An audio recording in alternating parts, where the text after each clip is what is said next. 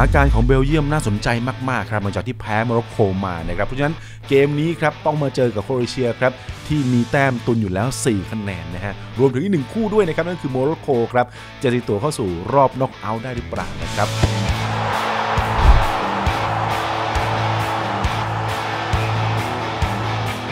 ชวนมาติดตามพร้อมๆกันนะครับ ทั้งความพร้อม ความคิดเห็นนะครับ ก่อนเกมหลังเกมต่างๆ ครับ เจอกันได้ครับ ใน Main Stand Club Live 1ทุ่มตรงเป็นต้นไปนะครับ แล้วเจอกันนะครับ Presented by Farmhouse